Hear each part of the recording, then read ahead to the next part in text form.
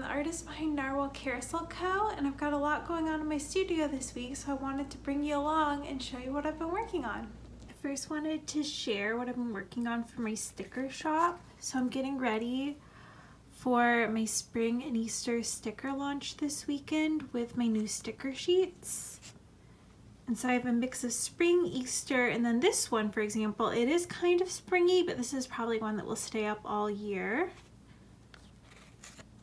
I have a cottagecore Easter one. I'm obsessed with this one. I think it might be one of my favorites from this new sticker launch I'm working towards.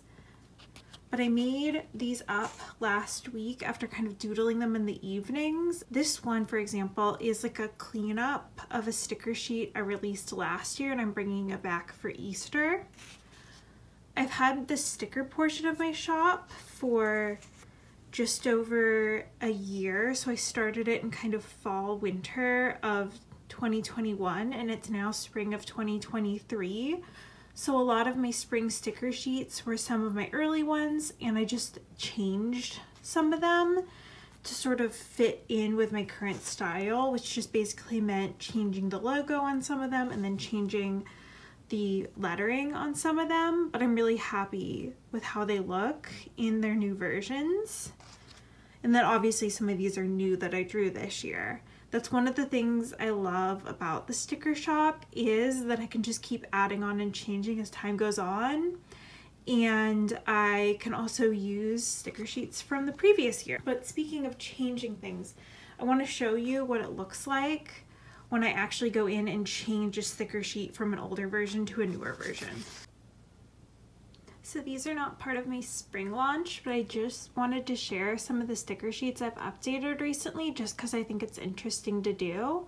So here's a really simple edit. All the stickers stayed pretty much the same, but I changed the logos. So my brand name was up here in my handwriting and I changed it to the font to match a bunch of my other sticker sheets. And so that's just the simple change I made. So the stickers are exactly the same. I'll just be phasing this one out for this one just as time goes on and they sell out because there isn't a big difference other than the fact that I wanted it to be more cohesive with my newer sticker sheets.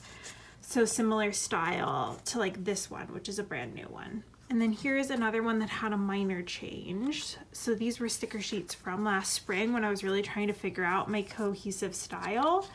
And all I did on this one is just move the stickers up, make the brand name the same for the new version, and then to sort of balance out where the new logo was and the fact that there's less writing there now, I just added a couple more of the butterfly stickers just to have a little bit of something extra to fill in the new blank space I made. So again, I'll be phasing in this one once the old version sells out. And then this was a really early sticker sheet for me, my Sweet Like Honey sticker sheet. And what I did on this one was just kind of update some of the colors and coloring, sort of tweak them. So you can tell I went with a more saturated, brighter yellow on the new version. And again, just change the logo and branding. This is one of those ones where I don't think the new version is obviously like that much different or better than the old version. I just wanted it to sort of match my new style a little bit better while keeping most of the same lines. And then I have one sticker sheet that did go through a major change when I went through and updated this spring, which is this cottagecore sticker sheet. The old version of this cottagecore sticker sheet is actually one of my best sellers in my shop, but it was one of the earlier ones I made and I'm not unhappy with it, but I mainly wasn't happy with the amount of like awkward placing and blank space. It was an acquired skill to learn how to plan out sticker sheets and I wasn't great at it at first. And again, I don't think it's that bad, but the space next to this cow just bugs me. So I did go through and update it. So here's the new version and you can tell, yes, there's still blank space, but it just looks more cohesive overall. And I was able to add extra things in. You can just tell I've cleaned up what the different things look like. You can tell on those little ducks, on the bees, on the strawberries. And again, like the placement is looking exactly right, but I do think it's just a more balanced look. If you almost look at the sticker sheet like an art piece, which sounds silly, but I did want like the colors brighter and the layout to be better. So I went in and made those changes. And so it still has the same spirit of the original sticker sheet, but I just think the new version is a little more reflective of what my style looks like now because this was one of my earliest sticker sheets. So I'm excited to phase this new version in. And I just think it's a cute new look without actually making the sticker sheet very much different. So those are my updated sticker sheets and I'm not really launching them with the spring sticker sheets. I'm just adding them in as the old versions sell out so that I can just have the updated version. And again, I don't even know if anybody who shops in my store is even going to notice. I mostly just did this because I wanted to do it. Forgive the less than aesthetic background, but now that I've shown you all these, I'm going to go ahead and put them in my sticker box. I will try to remember to link this below because I absolutely love it. It's for 4 by 6 index cards, but because all my sticker sheets are 4 by 6 this box works perfect for organizing them. So I have them semi-alphabetically in the front. So just the different ones. So I'll put away some of these versions that I have. So that's the front is the sticker sheets that I keep out all year. And then the section in the back is just whatever seasonal sticker sheets I'm currently selling. So these, these ones for spring are currently in the back. And if I decide to keep some of the spring ones as a full year fixture, then I'll phase them into the alphabetical section. And I think that will work really well. So let me put these away real quick.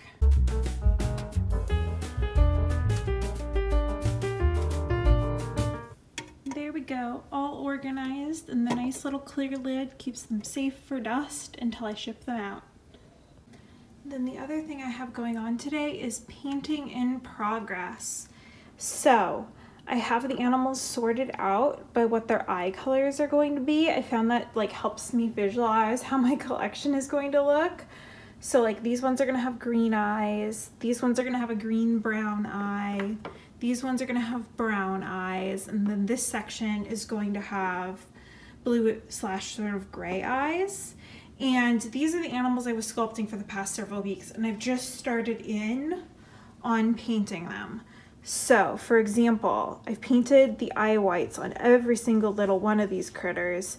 But on animals like this chipmunk that need more patterns, I've gone in and added patterns on them. This chipmunk also is one of the animals that I used chalk pastels on. So I went in and used clear sealant to keep the pastels from rubbing off while I work on the painting. And also I just hate the feeling of the chalk pastels. So like sealing them in so I don't have to touch them and I can just touch a nice sealed surface instead is a must for me.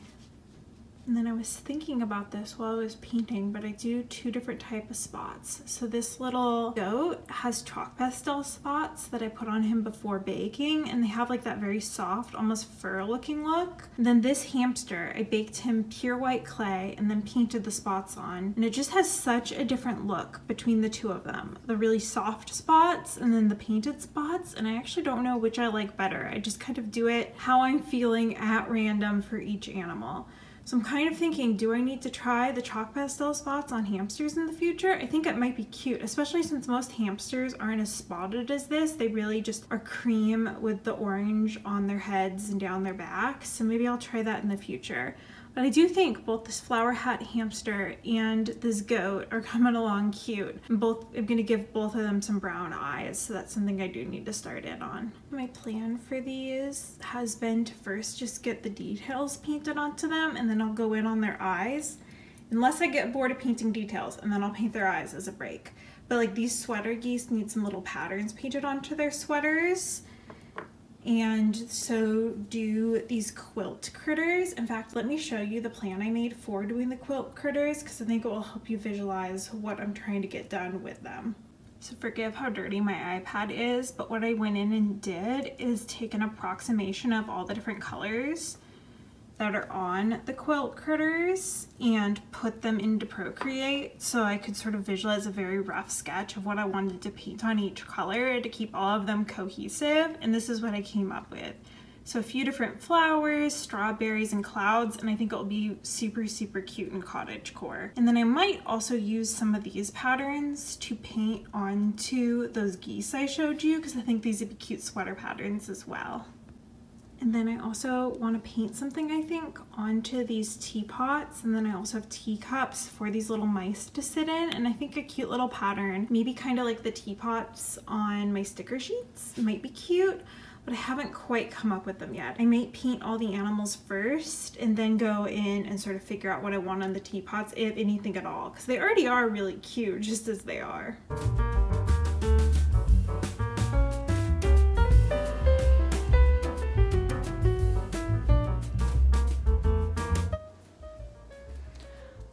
So I was going to just keep painting my clay, but actually I think while I paint the clay, I need to make some stickers on my Cricut because some of my sticker packs, specifically my Goose for Every Week sticker pack is low in stock. So I'd like to make some more and kind of like run the Cricut while I paint. Running the Cricut while I do clay is terrible because it can get like fuzz and stuff on my hands that then gets into the clay, but painting is a little better. So I'm gonna do that and see how it goes. So I'll swap you around and show you how I make a sticker sheet. Okay, so I have Design Space open on my laptop and I'm gonna search for the sticker sheet I want to make because I've set up a ton of them. So I want to make my goose sticker sheets today. So I'm to go in and grab the one I want. I'm to start with her Spring Styles sticker sheet. So this is for my like geese for every season type sticker pack. I'll have to insert photos of it. But what I'm gonna do is go in and make that now. So I have my sticker paper. I just keep it in literally the box it shipped in from next to my printer. And this is an Epson EcoTank 2803. And that's just what I use to print all my stickers. Um, I'm pretty happy with it. So I'm gonna insert the sticker paper in the back of the printer behind my laptop. I just put the sticker paper in one sheet at a time just because I don't make a ton of stickers. So what I'm gonna do is get this started.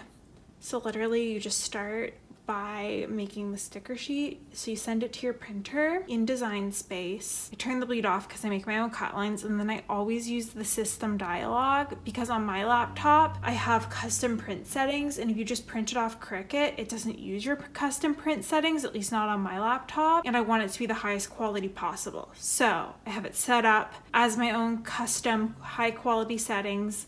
That's why I use the system dialog in Cricut. So I'm just gonna go ahead and print it. And I'm just gonna line up the stickers on my Cricut mat. You might ask, Casey, why is there washi tape on your Cricut mat?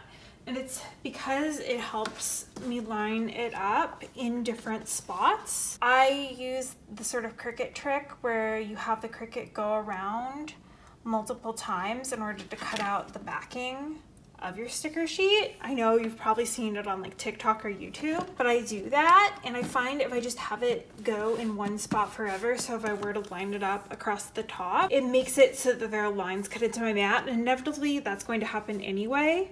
However, I would much rather have it staggered over time so the lines don't get too deep because I find when the lines cut into the mat get too deep, then my stickers start getting warped. So I use different widths of washi tape to stagger the sticker sheet while still lining it up because I find if my sticker sheet is lined up crooked then I have more issues with my stickers being offset and having issues so using this little trick has really helped me stagger where they are on the sheet and not be offset.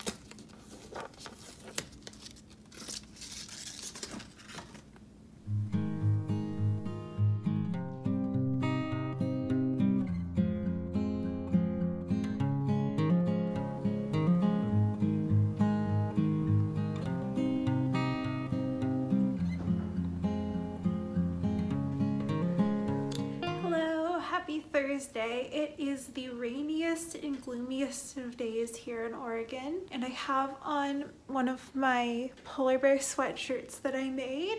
I'm trying to cycle in some of my new sweatshirts just for wearing for work and things because the ones I have been wearing are just getting very gross and destroyed.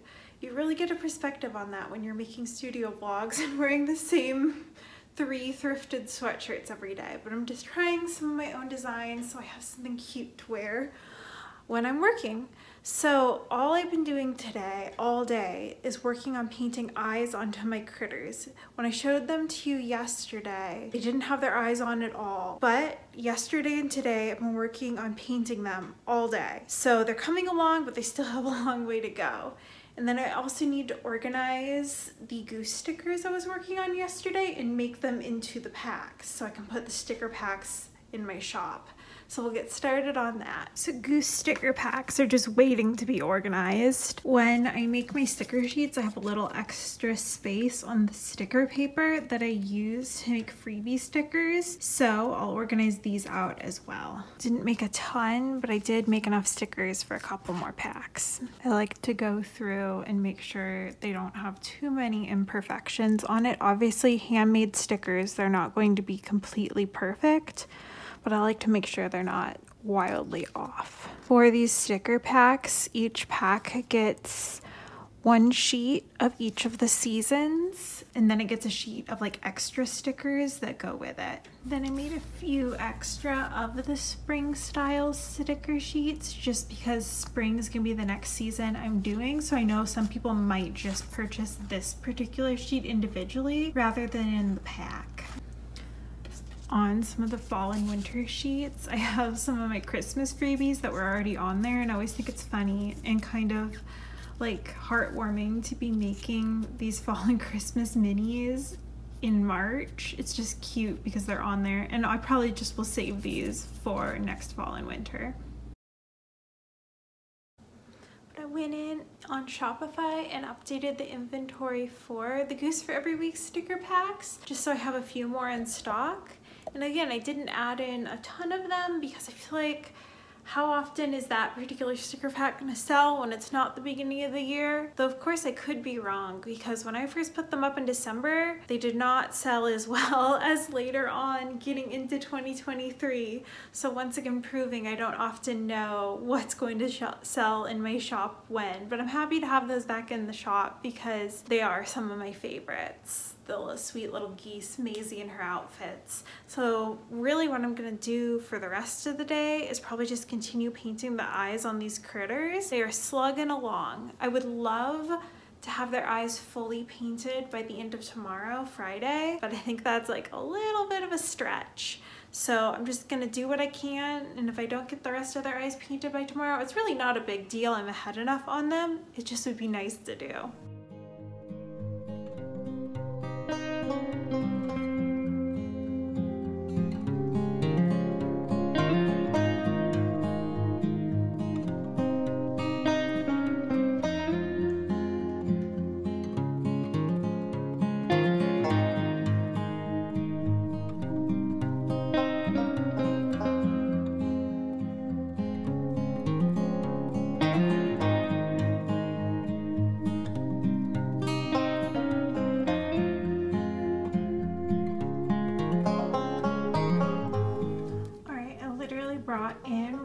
Big studio tent lights to show the painting I just did and now I wish I had brought the light in earlier because I can actually see my work surface. But here is all the progress on their eyes so far.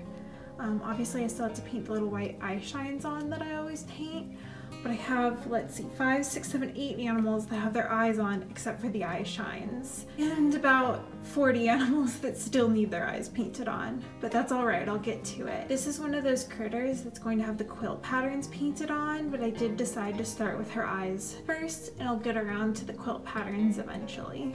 This is the light tent situation right onto my workspace because it is so gloomy and rainy today.